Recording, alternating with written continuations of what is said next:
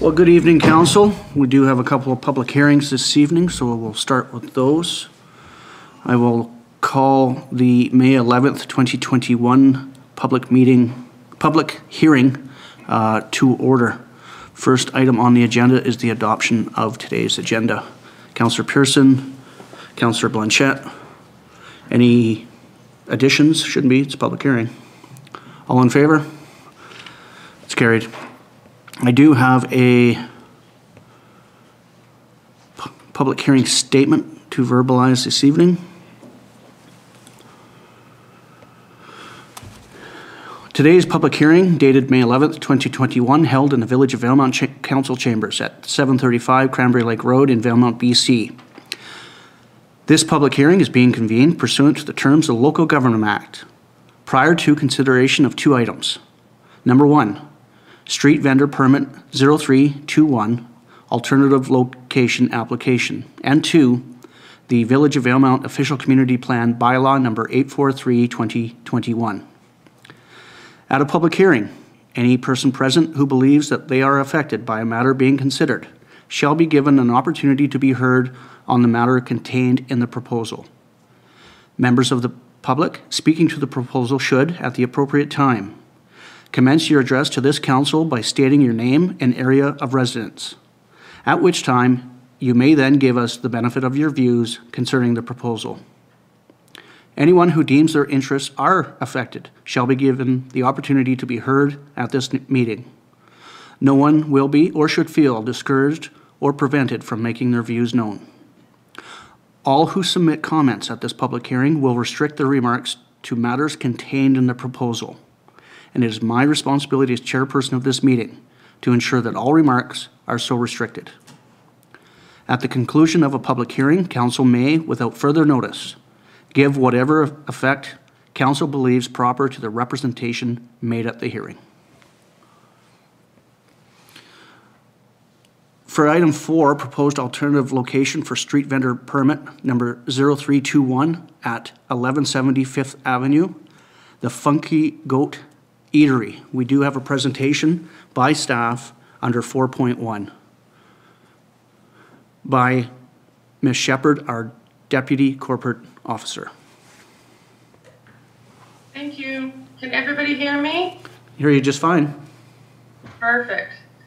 Uh, Good eve- evening, everyone. Uh, The first item on tonight's public hearing agenda is the Funky Goat Eateries application for a street vendor permit, requesting to operate at an alternative location, meaning a location not already approved in the street vendor bylaw. Street vendor permit 0321 proposes to allow the Funky Goat Eatery to operate for up to three years, seven days a week, from 7 a.m. to 11 p.m. at 1170 Fifth Avenue between the Rocky Mountain Goat and Three Ranges Brewery. The property is legal- legally described as Lot 2, District Block 9778, Cariboo District Plan PGP 35390. Owner of the Funky Goat, Mr. David Grant, was previously given approval to operate at this location from 2017 to 2020 and wishes to continue the same in 2021. At the regular council meeting of April 13th, council gave initial approval for the proposed street vendor location. Since then, adjacent property owners have been notified of the proposal and affected residents have been invited to provide feedback via written submissions to the village office or at this evening's public hearing via the village's YouTube channel. As of noon today, there were no written submissions received from the public. Thank you. Thank you very much. On this matter, under 4.2, have we received written submissions? I haven't rec- received any, thank you. Thank you. Do we have any verbal presentations under 4.3? In the case of an electronic, uh, from members of the public, in the case of an electronic meeting, comments submitted to YouTube since the commencement of the public hearing will be read aloud at this time. No comments have been received. Thank you. Do we have a presentation by the applicant under 4.4? He is not present this evening. Thank you. Therefore, he cannot respond to questions or comments raised by the public under 4.5. So do we have any questions by council under 4.6? For either the planning staff, the deputy corporate officer? On to item five, the official community plan bylaw number 843 2021. Under 5.1, we do have a presentation by staff by Miss Eddy, our planner. Thanks, Thank you. everybody. Thank you, Ms. Shepherd. You're welcome. The. Village of Valemount has, oh, sorry. The Village of Valemount has undergone a major update and rewrite of our official community plan and is also finalizing the new zoning bylaw. Uh, MVH Urban Planning and Design Incorporated was hired to undertake this project starting in May 2020, and they will be presenting here shortly. The updating of these bylaws addresses some major concerns that have been identified within the Village of Valemount. The increasing unaffordability of housing, homeowner and development limitations due to inflexible and out-of-date zoning and OCP regulations, limited pedestrian and transportation connectivity, and the lack of industrial and employment lands for job creation and economic diversification. The Village of Valemount has also struggled with flat population growth, minimal development, commercial investments, and far-reaching infrastructure with a limited tax base which increases property taxes per capita over time. The- This official community plan and the upcoming zoning bylaw are tackling these issues by increasing flexibility and permissions within the land use designations and zones. We have introduced mixed-use areas to promote infill and vibrancy in our commercial centers.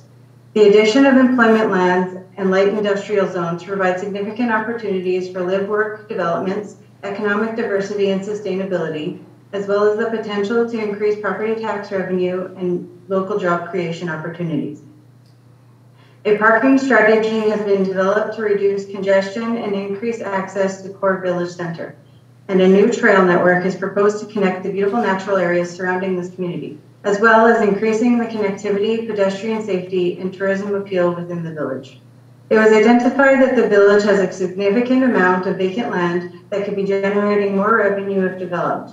This has spurred further discussion of revitalization tax exemptions in commercial areas to promote development, as well as supporting residential infill, such as permitting accessory dwelling units and increasing the flexibility in zoning and home-based business regulation. Infill utilizes existing assets and resources while reducing hurdles to more affordable housing and housing types. It promotes more development opportunities and flexibility and encourages a more vibrant downtown core. Additionally, the creation of a master plan for the village's large vacant Ash Street parcel by the high school is a significant step forward for the village to take initiative in regards to development, employment, and housing opportunities. Thank you. Thank you very much. Under four, 5.3, uh, we'll now have written submissions or summary submissions received prior to the proceedings. Yeah, we received one submission from John Grogan at 880 Hillside Drive. I will read that now. Uh, Preface. Research consistently shows that the process underpinning democratic consultation exercises is unrecognized for its potential to enhance democracy or undermine it. With democracy under increasing attack, establishing effective democratic consultation principles at the local level, which is where most people are interested in participating with political structures, is vital. The urgency and importance of this unrecognized need is only going to increase as more people become familiar with and willing to utilize tools of social media to express their discontent. Hosting public engagements and consultations is, that genuinely welcomes and supports citizens' meaningful input is easier said than done, but it can be done. We are fortunate here that we have citizens with suggestions, wisdom, lived experience, and the commitment to want part want to be part of the planning for a better future, who wish to be part of building a better future for the village of Valemount. It is Teresa Healy, PhD, Adjunct Professor, School of Environmental Planning and Gender Studies at UNBC. But we have not realized this need and the opportunity it offers. In fact, on the contrary, I have observed a continual decline to opportunities for public discourse in the democratic process. For example, the legislated extension of terms of elected municipal office challenges to full public participation in meetings of mayor and council. The use of voting machines in municipal election in a village with a population of approximately 1,000, including children. I believe we could reverse that here. This would mean overall slowing down and reshaping our OCP process. Admittedly, this would not necessarily be at the convenience of the contractors, and there may be other considerations unimaginable to this observer. I am nearing my the completion of my 70th orbit of the sun. I recognize that I am of the age where I have to be cautious of telling Grandpa Simpson stories. But I am also fully aware that as an elder, I have a responsibility and obligation of citizenship to speak my truth. I turn to the wisdom of the lives of Gordon Sinclair, who put the question, How much did that cost? And Dave Broad performance did not hold back in expressing his unique perspectives. I will not be around for the next OCP cycle rebirth and hope to survive this pandemic and its variants. I might be argued that we are in an existential, existential crossroads of crisis, if not as a species, at least in our economic status quo. The globalization of the leisure class is presently in crisis, and none are assured in their confidences that the tourism economy will recover. The world economies are in flux. I refer you to the book After the Crash The Emergence of the Rainbow Economy by Guy Dauncey. Mr. Dauncey explores a variety of system failures, and although pandem- a pandemic does not appear to be in the index, it is certainly a condition that could launch us into crisis that he describes in detail, and to some solutions that might be helpful to soften the potential for devastation.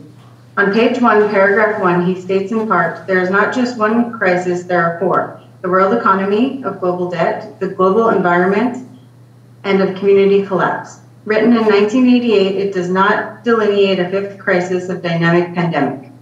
There, we are in a position to write that chapter now in how we adapt or not. I offer that we are not in a position to entertain the second option. As a child, I was a Boy Scout. The motto, be prepared, has served me well over the years. Hope for the best, prepare for the worst might be another way of putting it. The scientific method includes essential elements of the null hypothesis and peer review. I think those same principles might well apply to the social sciences generally, and in the instance of the official community plan process before us. This is my gift to my community. We can do better than the proverbial frog in the frying pan, unable to move despite the heat building. Reasons for slowing down and doing it better. One, COVID 19 should have shut down the process until such time that the process methodologies were developed to mitigate a world otherwise on lockdown. COVID has impacted the community severely. Brain cloud, isolation, citizens struggling economically have no time for OCP while the house of cards falls in. We are all in the same storm. We were not in the same boat. Depression and retreat from the outside world, disconnect from family and community relationships. These circumstances are, are not the best in which to be undertaking work to build a, pro, a positive future. Rather, an OCP process launched as a welcome back event when it's safe to go outside again would help rebuild relationships and hope. Two, necessity for broader vision. For example, tourism was offered in previous OCPs as a means to diversify the economy in light of challenges in the forestry sector. We need to continue to tap into the views of a cross section of residents with ideas for diversifying our economy, not just the economic business sector. Three, problematic structures of consultations to date further marginalize community members and need to be redesigned to allow full cross sector of interest and perspectives if they are to be expressed safely. I am aware of the work of the School of Environmental Planning at UNBC, which works diligently to ensure students have ex- experiential learning as part of their curricula. We have had two successful initiatives, including the founding of the Three Valley Community Development Cooperative. This is one example of an inexpensive support we could be calling on to improve our OCP process that would be most welcomed by the school and provide us with professional, through apprentice, support we could afford. I highly recommend we slow down our OCP and make it a community building endeavor rather than lip service exercise of strategically building the economic but no other sector of our community. Reflections and observations. The following reflections and observations are a compilation of notes largely made prior to the recent Zoom Facebook open house offered in lieu of a face to face event. My concerns revolve in my belief that momentum of a faulty process may have already set the direction and velocity of the outcome. My notes may ruffle some feathers, but they are offered in aggregate to prompt honest dialogue. It should be noted that there are some matters that have been left out which might be better addressed in camera. I reserve the right to make further comment should other related matters emerge. Notes.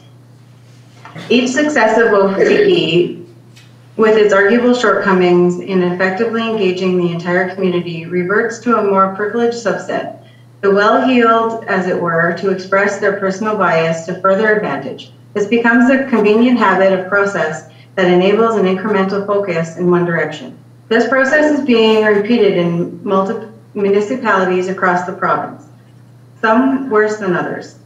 These OCPs are mandated by law, but perhaps the law itself is not specific enough to ensure sacred trust to be heard in the public forum. Is there an accreditation process to measure results? The use of open houses where people drop in over the course of hours to mill around and look at the displays of the perimeter of the hall and chat with the proponents is no suitable substitute for a town hall meeting to hear and be heard, exploring the full complement of vision for the commons. A public hearing is at the other end of the process, too formal and to enable open discussion or debate. No opportunity to hear others' opinions, nor of being heard. This is a dangerous condition which further generates poverty and oppression in, of the human spirit. This lack of adequate process is a stunning example of patriarchal groupthink for the betterment of the few. The OCP official community plan must not become in effect an OBP official business plan. Previously updated in 2006, public involvement in the Valemount OCP project is key to ensure chosen strategies, policies, and regulations reflect citizens' current vision for the community and address present day concerns. I fear nothing could be further from the truth. This OCP exercise is a sham and a series of pretend public engagements going through the motions of social engagements. The data reported in the What We Heard report draft directions November December 2020 might prove out my assertion. It appears that the process was skewed by an overrepresentation of business interests and an underrepresentation of social interests and values. There also appears to be a failure in respect to the rural values in favor of more urban bias created in a cookie cutter template offered by the consultants. The public cons- consultative process was further complemented complicated by the trappings of the global pandemic of COVID 19, creating a vacuum of citizen engagement with meaningful discussions and debates, enabling freedoms of associations with like minded communities of interest in anything other than business development. The OCP in this instance might be better called an OBP, Official Business Plan. There was, in the early days of the process, a token hint of public engagement. I personally jumped through the offered hoops, not unlike a train circuit fair. I filled in the workbook offered by email address to keep informed and attended the COVID compliant public processes. I imagine my disappointment in the never in never receiving a follow-up phone call to discuss my observations, interests, and concerns. This is not my first rodeo. I attended village council meetings consistently for 15 years. I have lived in this community for more than 40 years. I contributed to the social order associated with community development with demonstrated leadership roles in startup activities such as VCTV, the Internet Society, the Canoe Valley Community Association, the Three Valley Community Development Cooperative, the Youth Society, etc. From my perspective, my contribution to this OCP process is not reflected. Further, I contend that a subset of business interests is overrepresented in the results of this exercise. This is self-serving and sometimes contrary to the collective will of the community. I have to question the very integrity of the public survey. What measures were taken to ensure that the online survey was not completed repeatedly using different unique devices? This behavior was observed and encouraged in voting for best snowmobile community and other social media competitions. For example, on page four of the most recent document, What We Heard Report Draft Directions, November to December of 2020, Core Village Center, CVC, consider tax rebate incentives to draw development downtown area, reduce taxes for the first few years while development is being established. The downstream effect is that everyone else will see tax increase and or a reduction of services to cover their shortfalls. This is just one telling instance suggest, to suggest that what we heard was not representative of all interests. The result, without extraordinary measures, will be a more urban gentrification, creating a less affordable community for many residents. This will cause displacement of some of our neighbors and friends. The COVID 19 pandemic has created extraordinary conditions of social isolation that might further arguably have skewed the data collected by the contractors and reflected more favorably to the ultimate decision makers. I think it can be demonstrated that there has been a cookie cutter approach to the process of public engagements that further bias the findings to the business core to the detriment of interests of residential, social infrastructure, and amenities. Example, dental care, community center, etc. I participated in three public gatherings called by the contractors, all cent- centered around the business core. I suggest that this approach was further disincentive for marginalized community members from representing their best interests and creating a vision for themselves and their families. The first exercise was a meeting of a small group of individuals, around 10 to 15. We walked together for a block and a half before stopping briefly, then calling it a day. Vehicular traffic noise created an unwelcome distraction and interruption for any meaningful dialogue. Another exercise was held in the park. There was little, if any, opportunity to hear or be heard from other community members. This is another condition that impedes development of social cohesion, expression, and association. The final venue I heard was of was a vacant lot between the newspaper office and the craft brewery. It was at best marginally useful. Traffic noise was a distinct distraction, prompting the principal facilitator at one point to blurt out something to a particularly loud pickup truck. The crowd also consisted of random patrons about of the outside tasting room of the brewery. There were post-it notes available for those who wished to comment on the storyboards that were displayed with the artist's rendition of the vision of the contractors offered. Social distancing was difficult at best, and I had to com- had no confidence that the post-it notes would make it back to the office, due part in part to wind. A search of my email inbox confirmed my concerns that emails from the Valemount OCP were sparse. To their credit, there was to be an open house on November 23rd. That was canceled the morning of due to COVID 19.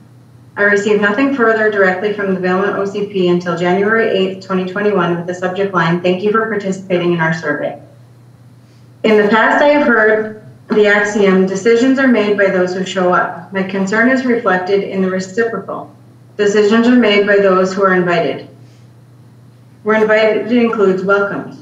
My questions include how many meetings were held in this process and who attended?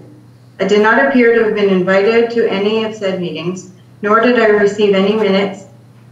I asked myself, who was invited? I ask these questions in part because my experiences in the past where there have been top heavy processes and where those with a vision other than the prevailing one are marginalized by design.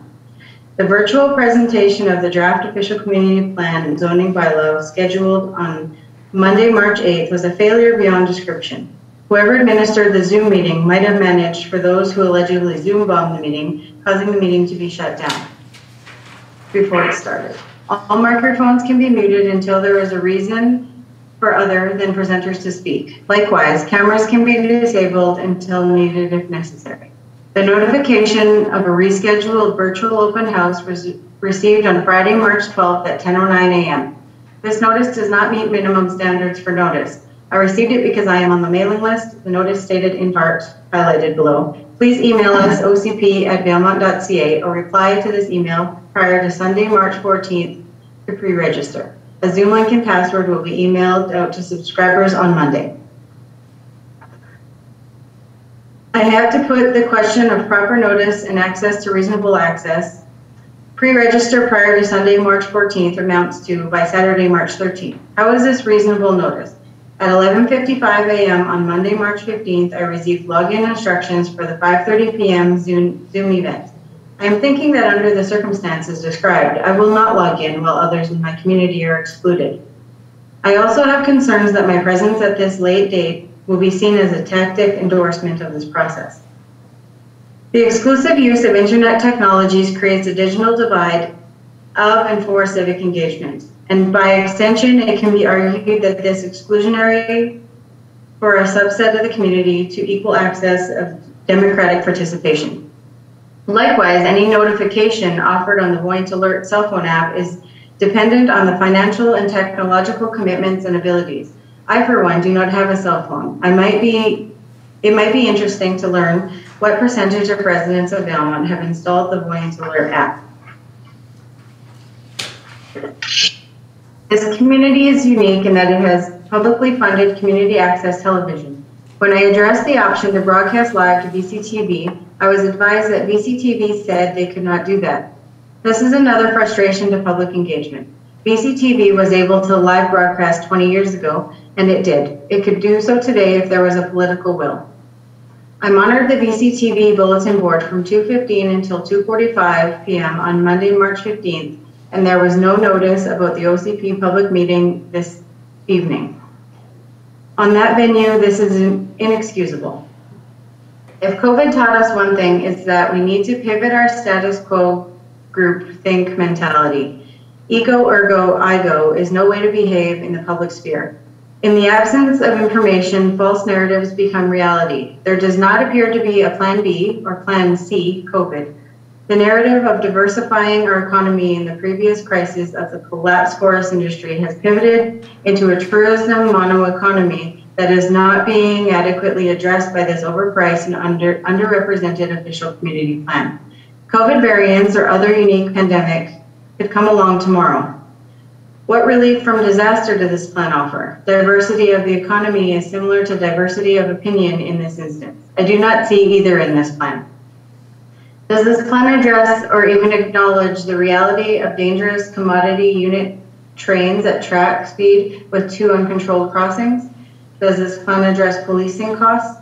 Does this plan or the omnibus bylaws rewrite address keeping backyard hens? Industrial tax base, cost benefit analysis, food security, mass migration of urban dwellers fleeing natural or man made devastation. In conclusion, I wish to acknowledge that I may be in error on some point or another, but my expressions of interest in hearing all voices in their choir include the drunk in the back row and the otherwise disenfranchised and otherwise marginalized persons, including children and families. These observations are offered in the spirit of goodwill to the democratic process. Anything less is in danger of becoming an official cabal plan. I think the provincial taxpayer and the government that administers the purse string should expect much, much better. And he added an addendum. It is with regret that I neglected to humbly acknowledge that I am a settler who gracefully lives and works and plays on the traditional unceded territory of the Simpcw and Tsleil-Waututh First Nations. In this time of COVID pandemic, it may be fitting to pause in reflection of past and continuing grievous harms suffered by others by our illusions of privilege and entitlement. An acknowledgement of previous historic diseases of the body and spirit introduced post contact is essential to truth and reconciliation and ultimately to healing of all parties. I contend that it is not sufficient to utter the words of acknowledgement without incorporating it deeply as an integral and overreaching element of who we are and who we hope to be. We find ourselves in a time of rising bigotry, hatred expressed and perpetuated systemically by individuals against Indigenous people, people of Asian heritage, and other people of color, LGBTQ2, and due to conditions of economic status. I offer that there is an opportunity for community development beyond the otherwise legislated obligations of the process. There's presently a set of circumstances that might frame an official community plan as a triple bottom line model accounting for social, environmental, and economic values. We need to ask ourselves what is missing in this draft plan and in this process beyond meaningful engagement. Measure environmental impacts in terms of the principle of seven generations, appreciation of the value of arts, values, inventory, and celebration of cultural diversity, any SWOT analysis, the potentials of cooperatives and other economic alternatives. This plan has an opportunity to acknowledge the historic and continuing contributions made by Métis people of this municipality and area. Beyond recognition and keeping in mind the axiom of nothing about us without us, there may be opportunities to explore the community, economic development, and cultural potentials of the Métis and Métis Historic and Cultural Center of National Significance. We are geographically well positioned as the service center of Tête Jaune Cache Historic Landmark. Salmon enhancement opportunities were also overlooked. What else might have been overlooked by too small a sampling of groupthink? Page two is, is a copy of preliminary notes from the OCP 2021 shared with organizers. And his notes include not everything can be measured has value. Not everything that has value can be measured. I see a growth bias. I see an urban bias. Gentrification displaces my neighbors. Mountain culture is lip service, rinse and repeat. I love living in a village. Valley of broken dreams. Village is an asset. No more fast food, myth economy. What effort has been made to engage low income residents? COVID clusters. This is no time for an official community plan. Where is the town hall meeting? I want an inclusive community debate. We do not have a community center or neighborhood house. No dentist. We had one until recently. We do not need another realtor's dream OCP. Where are the neighbors? Did you consult with minimum wage employees? Too many bylaws in our village and chickens. That is all. Thank you very much, Ms. Eddy. Are there any, under 5.3, are there any verbal presentations from the public? So in the case of an electronic meeting, this one, comments submitted to YouTube since the commencement of the public hearing? I'm just going to double check. Thank you. No, there's not. Oh, no. Thank you. We have a presentation under 5.4 by the uh, MVH Urban Planning for this Village of Valemount official community plan. Uh, Good, e- good evening, um, uh, Mayor, members of council. It's a, it's, we're really delighted to be here. Uh, It's a very important date. Um, My name is Michael Von Hausen. I'm president of MVH Urban Planning and Design. I'm joined by Jonathan Schmidt, uh, Amy Clark, and Fraser Blythe, who uh, are here to support, and Jonathan will provide a brief presentation following my introduction. First, my team would like to extend a sincere thank you to all those who helped us along the path of developing the official community plan. As we just heard, it takes a community to build a village. First, great appreciation for the collaboration efforts of staff from the village, including Megan Vincente, uh, Silvio uh, Giselem Berte, and uh, Wayne Robinson, as well as Krista Eddy. Thank you for your presentation and thank you for your support through the process. Thank you to Council for your active participation and support, um, led by Mayor Owen Torgerson. Thank you very much. Councilors Hollie Blanchette, Sheri Gee, Donnie MacLean, and Pete Pearson. You were there all the way along the process in these difficult times.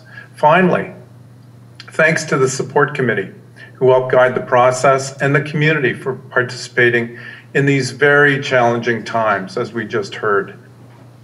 The OCP project began in the spring of 2020 and has been one of the village's most extensive engagement processes despite the challenges of COVID of the COVID-19 pandemic.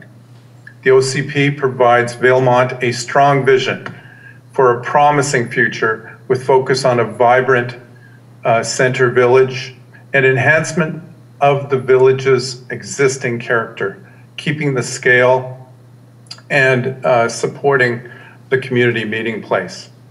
The village's future looks bright.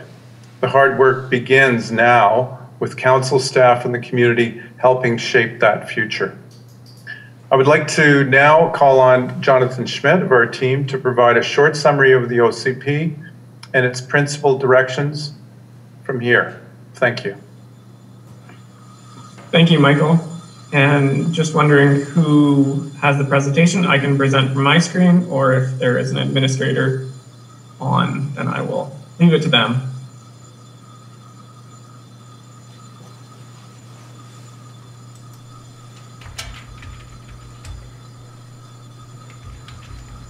I guess I can present my screen if that. Yeah, go ahead, Jonathan.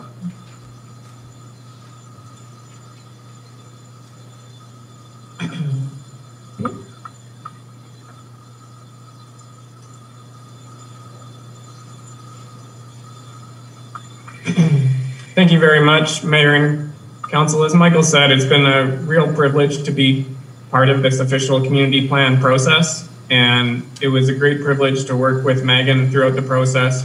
Um, and she was a great asset and uh, an expert planner. And so we're sad to hear that she moved on from her job, but very excited to work with Krista as we also finish up the zoning bylaw. Krista brings a lot of understanding of the village, knowledge, and expertise. And so we're happy that you found someone uh, in-house that can bring that to the official community plan in implementation as it as it moves ahead.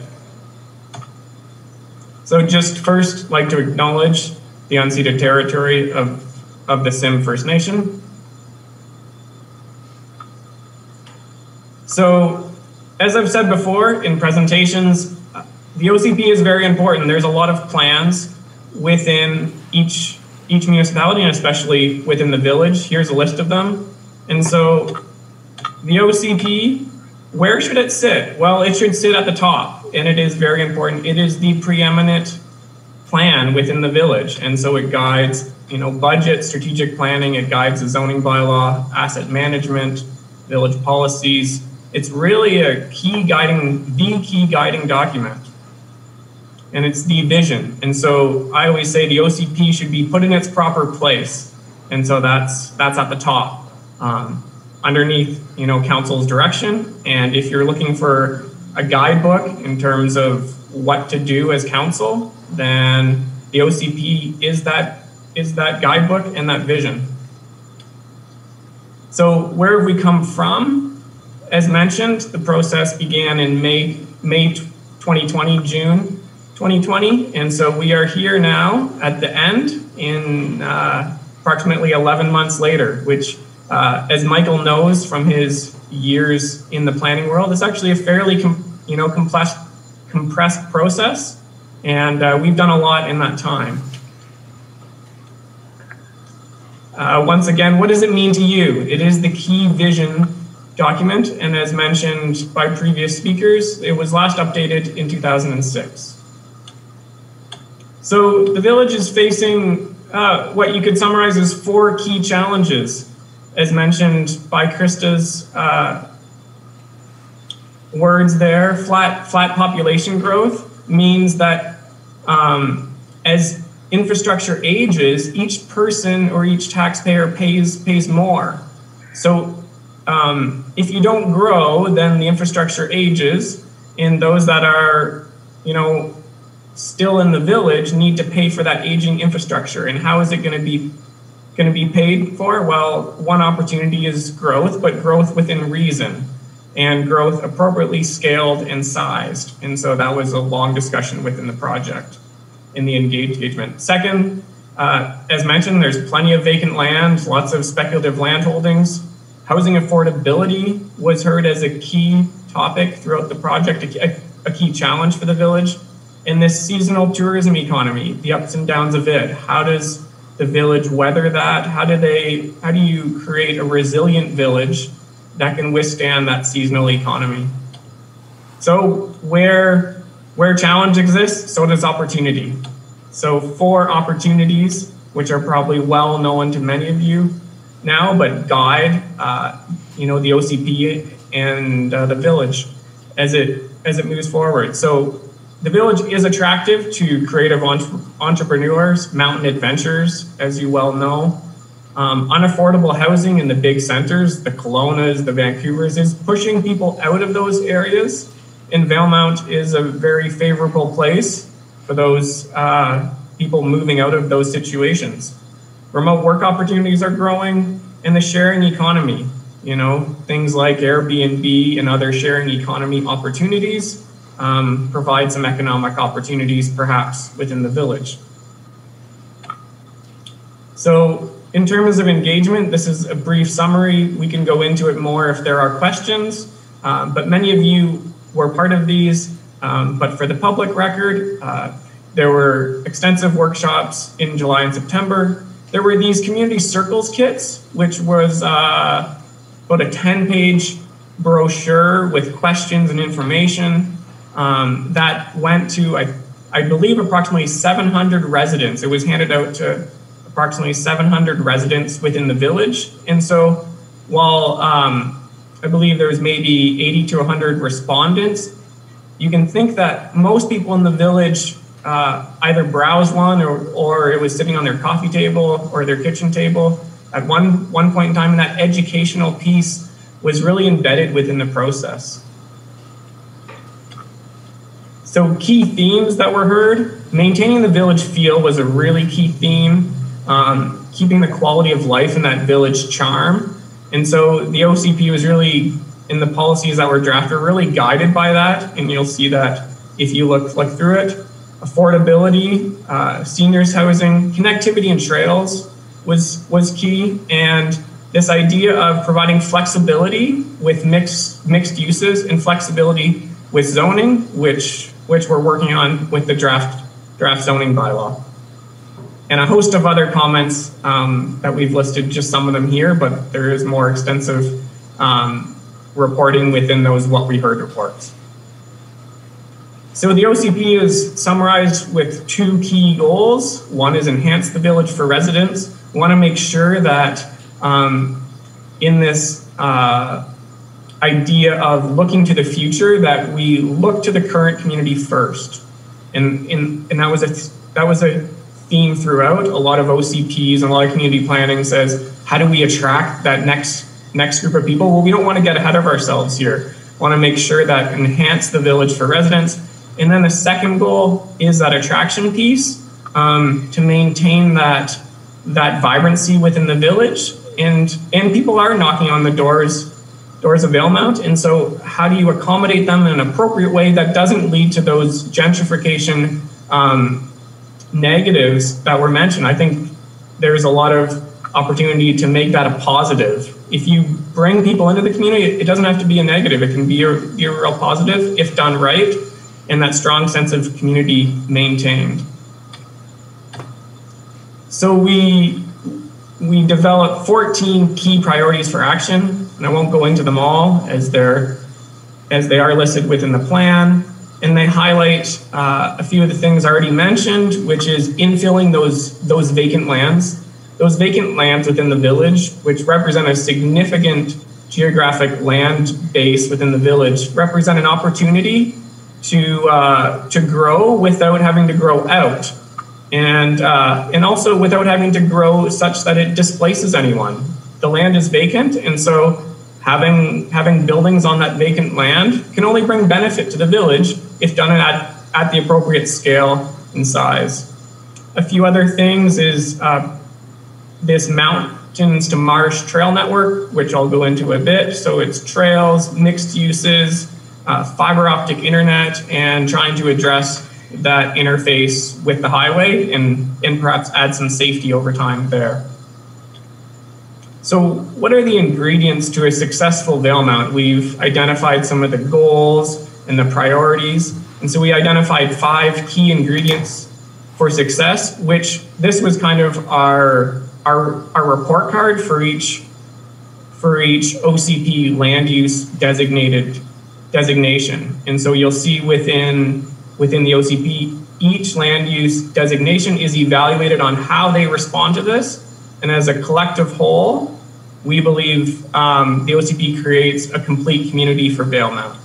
So we have stores, housing diversity to meet the needs of residents today in the future, fun places, who doesn't want places to play, jobs, it's an essential thing. We noticed in our evaluation of the village a lack of employment areas. There are tourism areas, but there isn't kind of traditional employment or light industrial um, live work opportunities. And, and, and so that's been added. And then sustainable tax revenue. So people want, uh, you know, sustainable taxes that don't go up too high, but also pay for the needs and then perhaps the wants too. So the OCP uh, land use map, the designations are here. They're within your packet, so I won't go into it too much, but key is that village center along Fifth Ave, and then three residential areas with unique characters. So we want to really maintain that, that residential character within the historic residential area, and then and then unique characters in residential neighborhoods two and three. Um, a mixed use area in in what's labeled here as as a rail town, but it's the Main Street area. Um, and then identifying in the blue some employment land. So some are vacant, some could be more more traditional and industrial. Some some could be that live work opportunity, which is more innovative um, and more creator based, uh, but adds that economic element to the village that isn't presently very overt. So I'll just go over five five key topics, and I'm probably not giving them enough enough time here, but that's where the questions are available. And if anyone wants, they can dig into the OCP, of course. So accessory dwelling units, um, the policies within the draft OCP allow these opportunities for accessory dwelling units, laneway homes, basement suites, that kind of thing, all kind of grouped under this umbrella term of accessory dwelling units. Short-term vacation rentals, uh, there was identified as uh, focus that those should be within the residential neighborhood two and the residential neighborhood three. Uh, so, so that's where the OCP went on that. Parks and trails. So this big idea, as mentioned, this mountains to marsh trail system to try to really embed within this village this love for trails and this love for getting on your bike, this love for walking, and, and, and to really connect the village through a trail network. And so, one of the key things about that connecting piece is it was mentioned well, we don't just want to connect the marsh to the mountains, although, although it sound, sounds clever. We want to make sure people are connected to the downtown, to Fifth, Fifth Ave. And so, we we believe that Dogwood is a perfect opportunity to do both of those things. It could be part of this grand trail network, this Mountains to Marsh, but also it connects the south to the downtown, which is a lacking connection at this time. So Michael drew up this beautiful sketch, which shows the opportunity to really enliven Dogwood with a multi-use pathway. Um, so you have that biking and walking all mixed in with some landscaping to really connect the south to downtown and and you know thereby create that key connection you know within the village for active modes downtown and mixed uses we mentioned this also a bit but uh, it was really came from a lot of discussions and commentary with with citizens as well as staff staff had been getting um, a lot of questions from people wanting to utilize their property as both living and working. Um, but it was felt that within the downtown, at least this the streetscape should be a commercial feel. But if you wanted to have a residence, it could be above or behind, and that's that's where the draft policy went. And there's a lot of benefits as we did some analysis to bringing that mixed use environment into your downtown. And you already have it, it's just enhancing it a bit, bit more. So as shown here, the mixed uses are allowed within this uh, red band um, within the land use designations in the OCP, which include the core village center as a land use, and then the village center mixed mixed use, which uh, buffers it on either side. Sorry, the colors aren't as as uh, coming coming through through there. So. So I believe opportunity awaits for the village. Uh, this is an exciting new vision in your OCP, and uh, we're happy to be a part of it and happy to field any questions that you may have. So thank you for the time. Thank you very much, Mr. Schmidt. Thank you to your team as well. Did you have any sort of uh, response under 5.5 to the questions or comments from the public? Michael, do you have any response? I've got a few notes, but I'll pass it off to you as the senior on this team. Yes, thanks, uh, thanks, Mayor Torgerson. You know, you know, I was taken by the commentary. As you know, I I teach it. Uh, I've taught it uh, Simon Fraser University. I'm an adjunct prof- professor there, and I'm also an adjunct professor at Vancouver Island University. Um, I think the most important point here is we made every effort within this changing pandemic environment uh, to reach out. Uh, we tried to adjust uh, with the workbook, the Circles workbook. Um, we know by that uh, absorption of 700 of these workbooks that the word did get out. We had 100 responses. I'm very careful in my experience to um, read through, and Amy uh, Clark is our engagement um, expert on the team. Uh, we deliberated many times about how we could reach out, how could we keep safe distances, how do we adjust in these um, challenging times. Uh, but we were we carefully measured uh, the responses of the community. I appreciate the long letter uh, and the thought that was put into that um, and the respectfulness of it. Uh, we constantly strive to be inclusive, um, uh, to be respectful, and to be. I, I, try to condition my team all the time to say. Uh, we have two ears and one mouth to at least listen as twice as much as we speak. Um, so those are, uh, we're always humbled um, by feedback because we can do our best, but best sometimes um, for some people uh, in these trying times is almost an impossible situation. So we appreciate the thoughtfulness in the submission, and it's certainly um, uh, certainly something we acknowledge. Uh, but at the same time, we made every effort in our deliberations, especially with the support group, um, to try to reach out, to try to listen to say, have we got these issues right? Have we articulated them right? And now with the new OCP, the way it's structured, most importantly for council and staff to lead the way to shape that future. So uh, again, um, uh, we, we, we as a team always acknowledge and appreciate uh, submissions and um, uh, uh, but the structure of this OCP and how it was um, how it was scribed was to actually provide an opportunity for the community and staff and council to now shape that future. So the game isn't over. The game is just starting in terms of shaping your promising future. Thanks very much, uh, Michael. Uh, 5.6, council, any questions for the presenters this evening?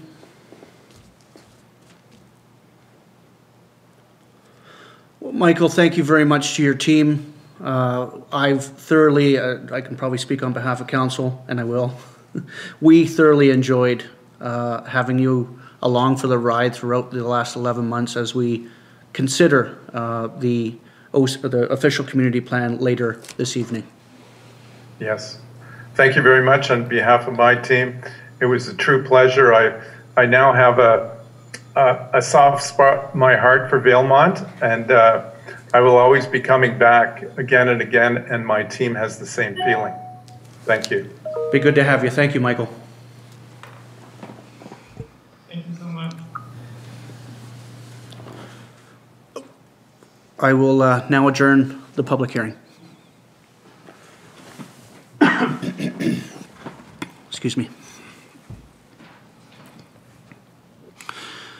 And on to the regular meeting of council being Tuesday, May 11th, 2021. First item on the agenda is to call it to order. And following that, 2.1, adoption of this evening's agenda. Councillor MacLean, Councillor Gee, any additions? Hearing none, all in favor? It's carried. Item 3.1, adoption of the minutes of the regular, previous regular meeting being April 27th, 2021. Councillor Blanchette, Councillor Gee, any errors or omissions arising? Hearing none, all in favor? It's carried. We do have a bit of unfinished business under 5.1 for the Columbia Basin Trust Community Initiatives and Affected Area Program. Funding recommendation for senior housing. Councillor Pearson. I will recuse myself for this one as I'm an executive on the board. Thank you very much.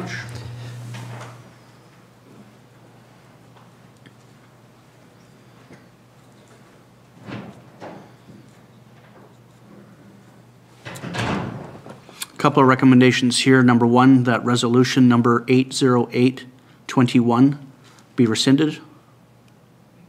108? 108, 108, did I say that, or 108? Said 808. Oh, Sorry. 808. Good. 10821 be rescinded. Counselor Gee, Counselor MacLean, any discussion on rescindment? All in favor? It's carried. The second recommendation here, that the CBT, CIP, AAP Adjudication Committee's recommendation that the Valemount Senior Citizens Housing Society receive 86775 for their project, Valemount Cares Phase Two, be approved. Counselor Gee, Counselor Blanchette, any discussion? All in favor? It's carried.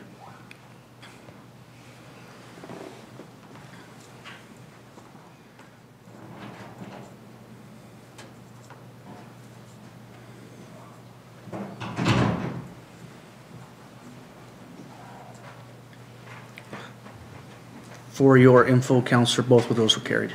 Okay, thank you.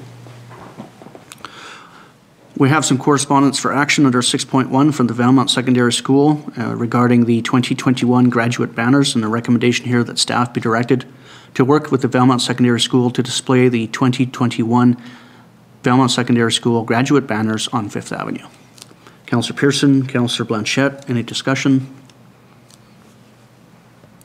Very similar to last year. All in favor? It's carried pretty extensive reading file before us this evening. Anything council wishes to float? Counselor Pearson? Uh, let me find it here. Item number four, uh, the response from, um, the government on the nine eight eight emergency, uh, hotline, suicide hotline. Um, I happy to see that they responded. It's nice to see the acknowledgement. But in reading through, I find it, uh, somewhat disheartening that uh, the CRTC is the first, has first right to refusal on this project through their auspices. I, uh, I have real issue with the fact that uh, CRTC has the option to deny it before it even gets to the table, so.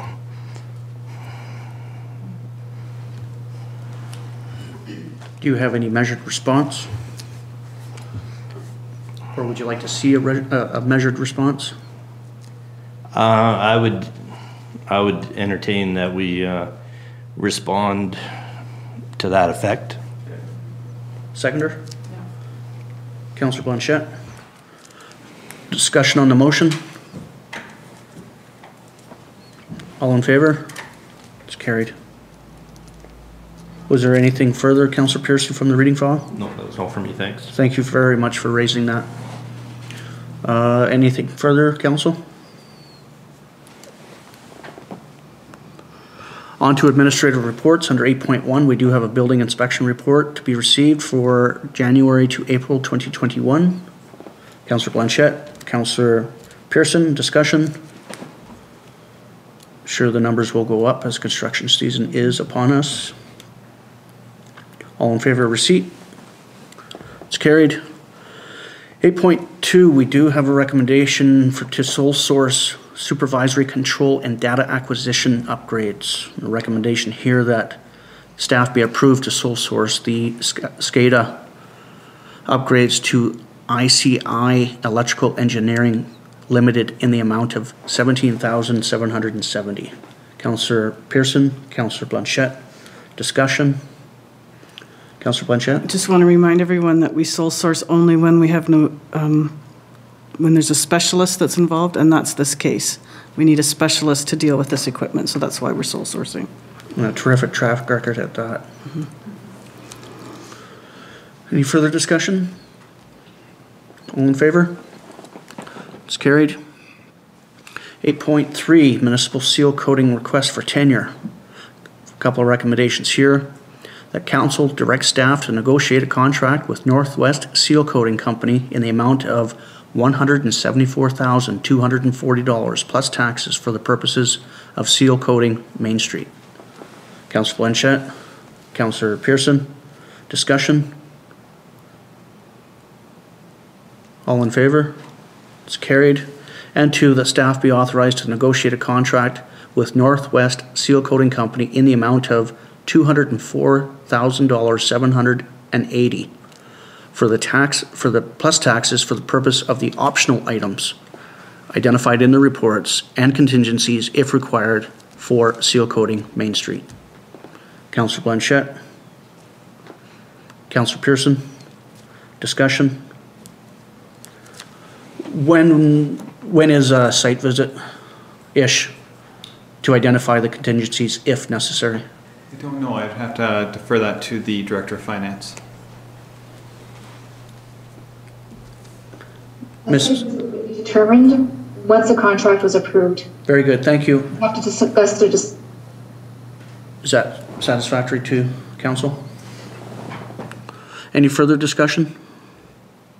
All in favor? It's carried. 8.4, we do have a statutory uh, requirement, statutory requirement before us, and that is the appointment of the subdivision approving officer. The recommendation here that Chief Administrative Officer, CAO Wayne Robinson, be appointed as the statutory approving officer, SAO, for minor subdivisions effective May 12, 2021. Counselor Blanchette, Counselor MacLean. Any discussion? Doesn't have enough to do. No. One more. Uh, Mr. Robinson, how, how long do you think you'll be needing to hold that mantle? I would say a minimum of a year. Minimum? Yeah. Thank you. Any further discussion, questions for the administrator? All in favor? It's carried. 8.5, we have a proposed permit, proposed development permit for mixed-use building DP 2101 with a variance for 1451 Fifth Avenue. Recommendation here? Yes, I would like to recuse myself as I'm chair of RVCSS. very good. And as an employee as well. I Thank also you. need to.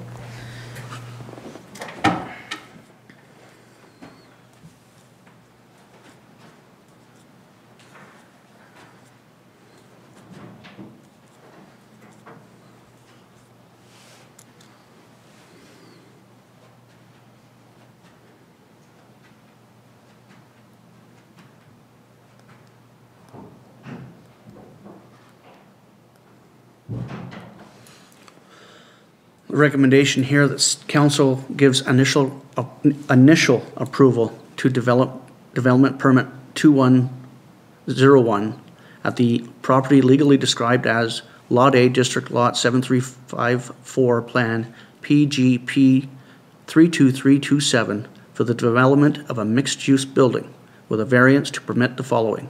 Number one, increase the building height to 12.8 meters. And two, decrease the minimum parking requirements to 19 spaces. What's council's wish? Counselor Pearson? Counselor MacLean? Discussion? Counselor Pearson?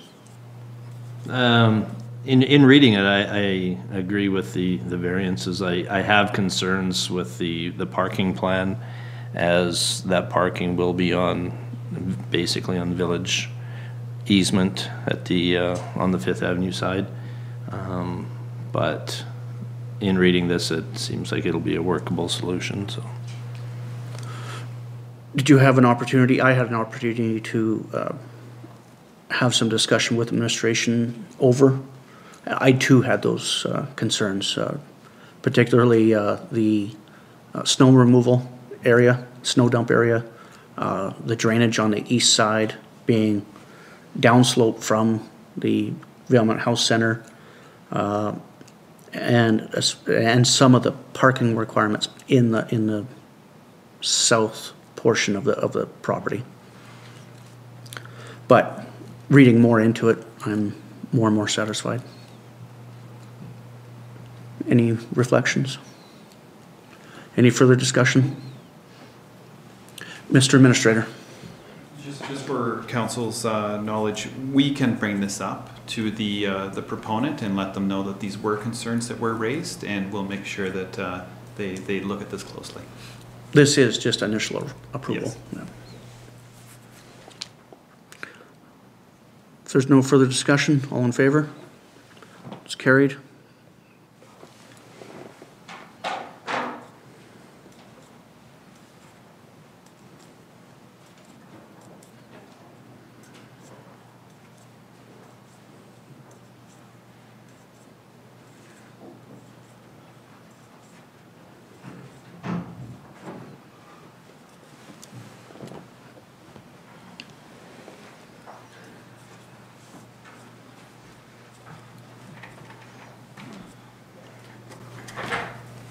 For your uh, shared uh, info, initial approval has been granted.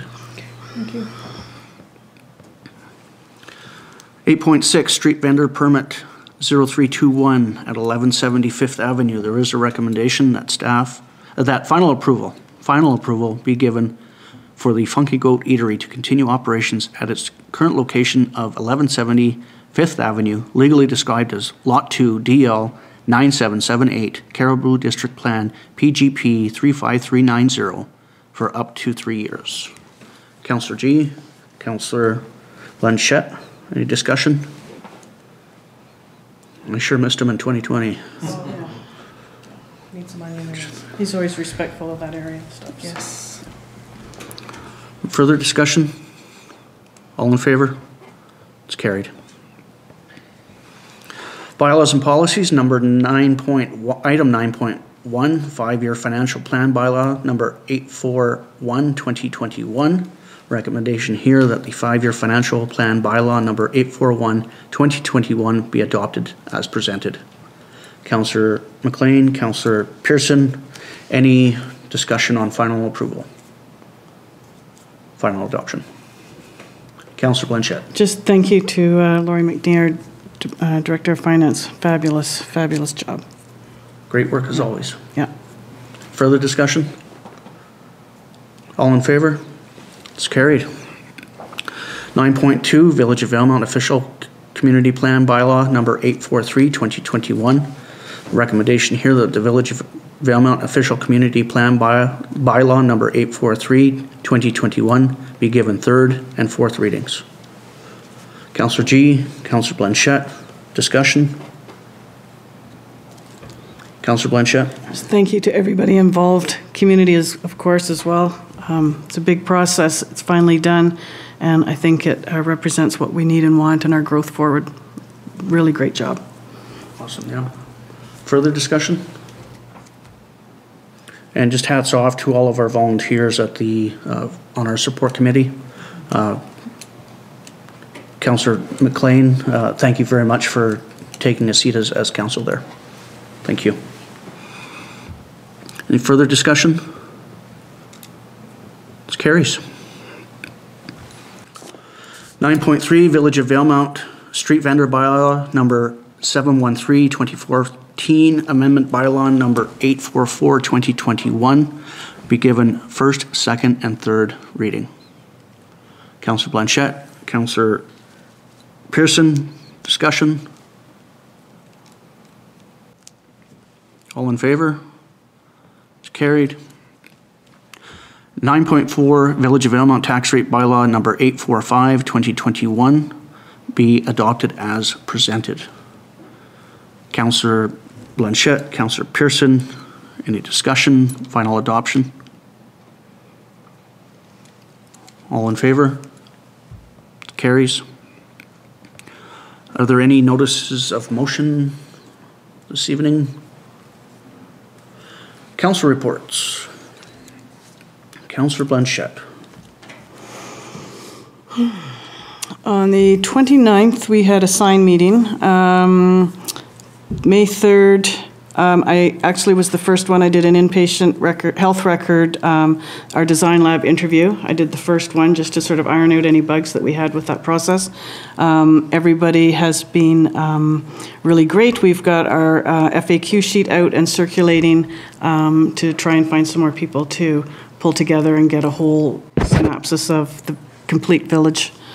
Um, On the 5th and 6th, we had our NCLG conference, which was really quite interesting, because of course, again, it was over Zoom. We got through all of the resolutions, which was fantastic. They brought in some really great speakers, some good workshops. One of the biggest um, workshops that we had that was, um, caused a lot of um, activity was the um, addressing affordable housing and homelessness. And so they couldn't get to all the questions. They, we all, everybody had still a lot of stuff they wanted to discuss. So NCLGA uh, members said that they would try and pull together a webinar that, with BC Housing. So that was um, greatly um, appreciated. So we'll be able to do that.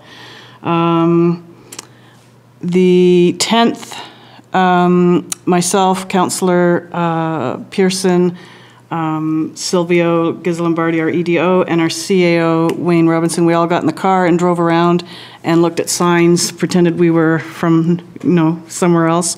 And we drove around the whole uh, area and looked at what signs we need, so that's moving along quite well. And on the 10th, I also had a child and youth mental health meeting. That's it. Thank you. Yep. Signage, funny. Uh, Counselor MacLean. Um, My report is a little longer, as I I was away last meeting, so mine goes all the way back to um, a Valemount Entertainment Society meeting on April the 20th. Um, It was an exciting meeting. I'm sure most of you have heard by now.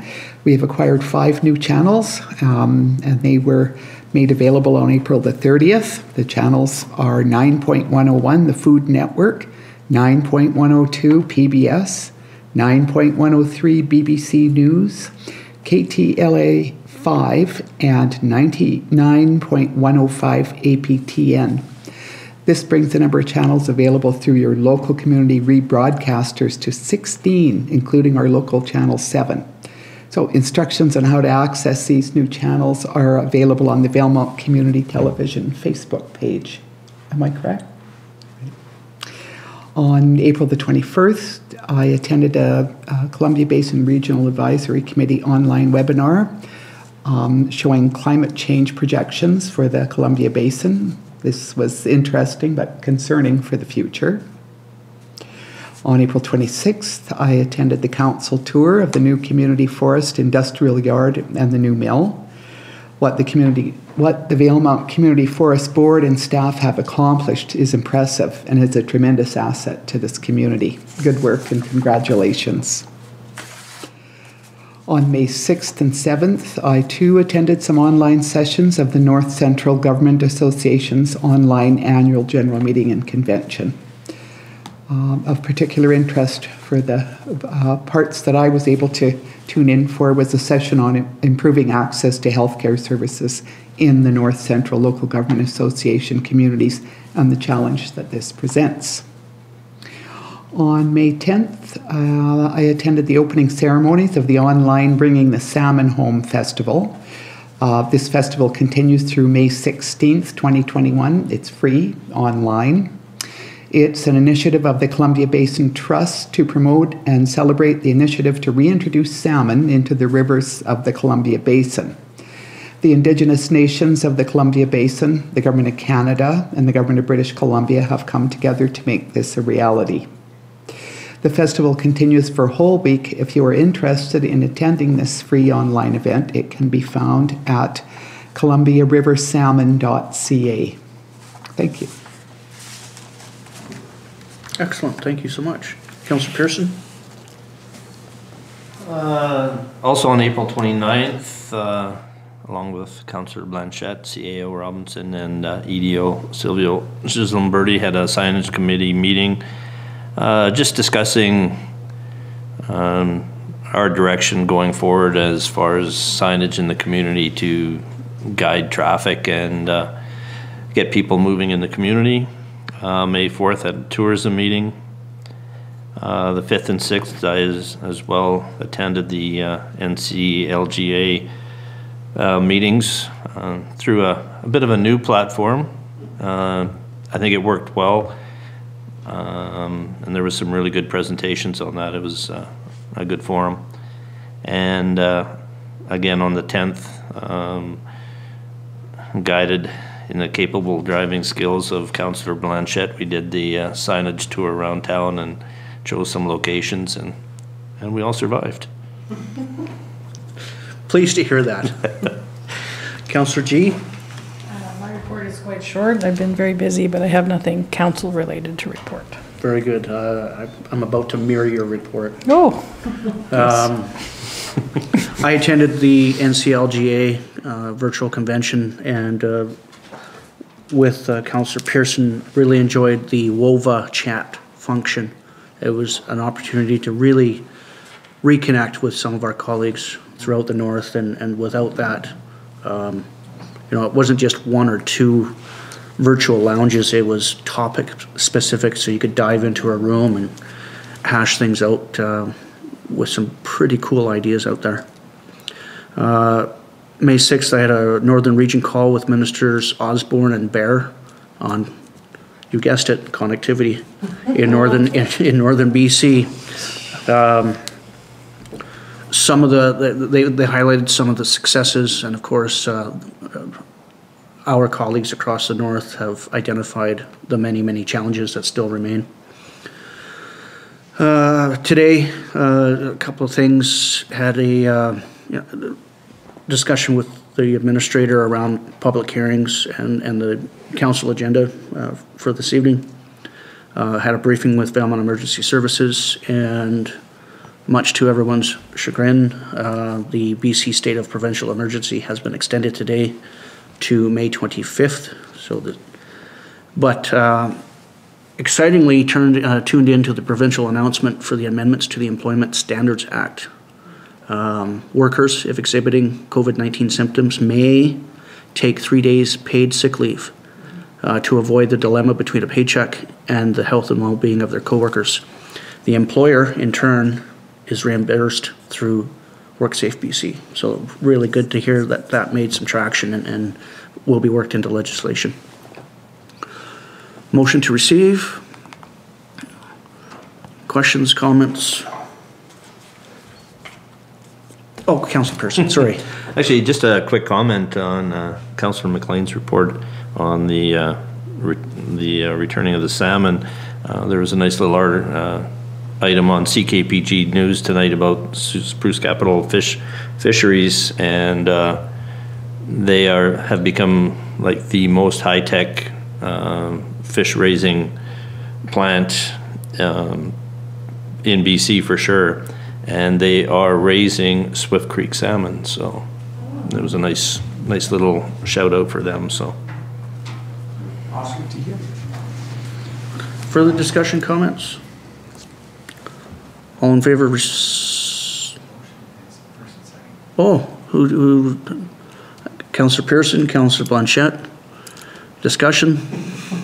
All in favor of receipt? Carried. Are there any public comments as received on, considered by council as part of the approved agenda? There are no public comments. We will not be proceeding to in-camera this evening, so I'll call for adjournment. Counselor Pearson. Thank you, council.